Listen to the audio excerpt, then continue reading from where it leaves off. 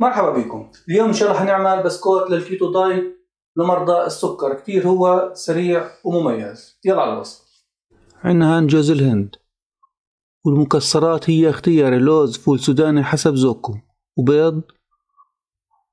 وبديل السكر النوع والكمية اختياري. و baking powder. نستخدم بشر ليمون ونعصر نص ليمونة.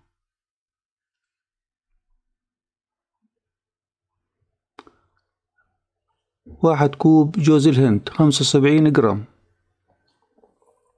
لوز ني واحد كوب مية وخمسين جرام. التحلية بديل السكر النوع والكمية اختياري. baking powder معلقة صغيرة. بيض عدد اثنين.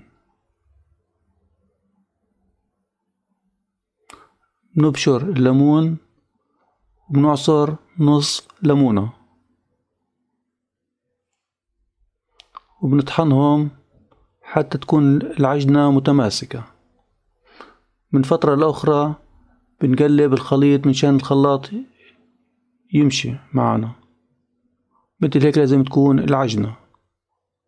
يعني من فترة لأخرى بنقلب الخليط منشان يمشي الخلاط. مثل هيك لازم تكون العجنة متماسكة. شايفين كيف؟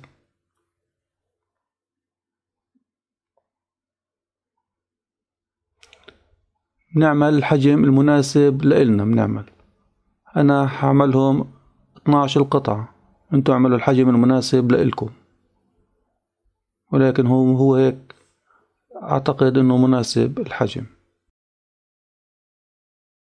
نستخدم كوب نعمل الشكل اللي إحنا بنحبه حسب ذوقكم. ممكن نعمل حزوز اثنين ثلاثة أربعة حسب ذوقكم تشكيلة نشغل الفرن مسبقا مية وستين درجة مئوية. في الرف الأوسط لمدة عشرين دقيقة. هذه هي المكونات إذا بحاجة إلى التقاط صورة.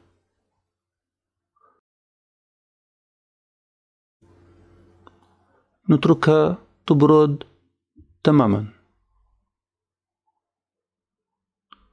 ممكن نستخدم الفول السوداني أو أي نوع مكسرات إحنا بنحبه.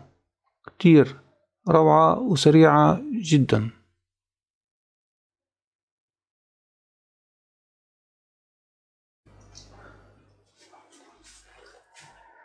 كتير هو روعة ومميز الناس الموجودين عندي على الصفحة على الفيسبوك أتمنى يشتركوا عندي بالقناة على اليوتيوب.